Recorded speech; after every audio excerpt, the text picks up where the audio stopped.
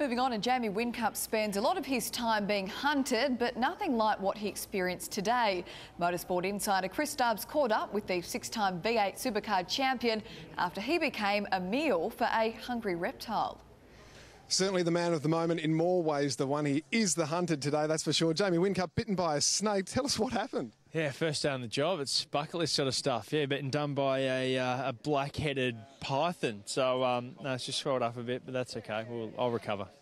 it wasn't venomous. You're not about to pass out on us or anything. No, no, it wasn't a king cobra or anything like that. Apparently, it's got no venom. It's, it's swelling up a little bit, but um, yeah, no, all good.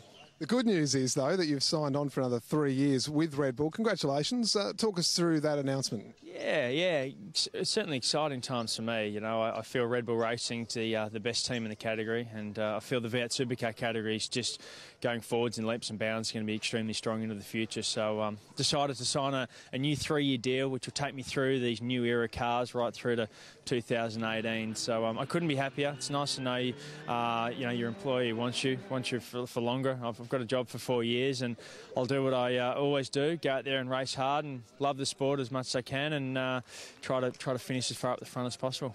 Always plenty of questions about would you go overseas, would you not? Does this mean that there's no chance you'll be headed overseas? Oh, never say never, of course, but um, you know, I, I, I enjoy doing one-off events like the Race of Champions at the end of last year. But um, certainly, I feel my, my main focus is V8 Supercars. I've, I've always said that, and uh, you know, with the category, with all the new announcements, with the TV deal and uh, the, the, new future generation car, I think it's an exciting place to be, uh, and one I want to be involved with. So um, yeah, really happy to do a, new three-year deal.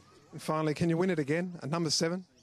Oh, certainly, yeah, for sure, for sure. We'll go out there and do our thing. No doubt the uh, the competition will be unbelievably deep, and it will step up again from, from last year. So um, we're going to have to be on our A game, but um, I'd like to think we're as good a chance as anyone.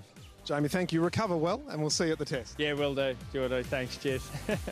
yeah, what a tough day out for Jamie Whincup. And uh, don't forget, Fox Sports 5 is the place to catch the V8 action.